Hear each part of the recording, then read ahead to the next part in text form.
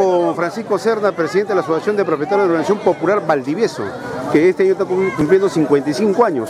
Eh, Paco Cerna, ¿cómo se viene llevando a cabo este campeonato Interbarrios de Valdivieso? Eh, gracias a los vecinos realmente está resultando un éxito y persiguiendo los objetivos de que es eh, tratar de que los vecinos participen y se conozcan más aunque en el calor del partido muchas veces no sucede, pero terminan como hemos querido en confraternidad. Así que esperamos que más bien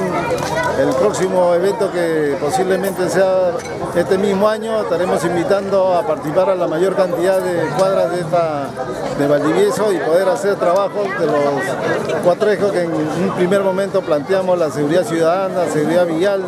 área verde, parques y jardines y eh, defensa del consumidor. Estos 55 años, ¿qué significa para los vecinos de esta importante urbanización que está a pocos pasos de la Municipalidad de San Martín de Porra? Bueno, realmente creo que debería haber sido eh, la fecha conmemorativa, pero hubiéramos querido una fiesta mucho mayor, eh, pero por todas las circunstancias que han pasado en esta institución, eh, estamos tratando aprovechando estos 55 años de que vinieron a fundar este lugar, a los vecinos que muchos de ellos nos están dejando y ya, nos han dejado partir la presencia del Señor, bueno, eh, tratando de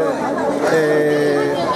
volver, o sea, tratando de volver a que ellos este, participen más activamente los vecinos, pues. Esa es la idea de este campeonato en realidad. este fin, el próximo domingo va a ser la gran final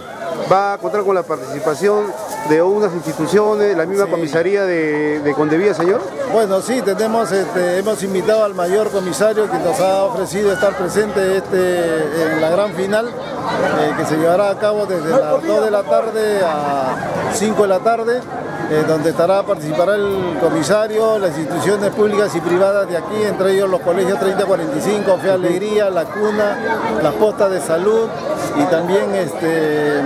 hay una ONG aquí que también hace trabajos y posiblemente estamos invitando a los vecinos de la cooperativa con los asentamientos humanos para que puedan participar porque en realidad Valdivieso somos todos. Muchas gracias, agradecemos al señor Francisco Cerna, presidente de la Asociación de Propietarios de Valdivieso.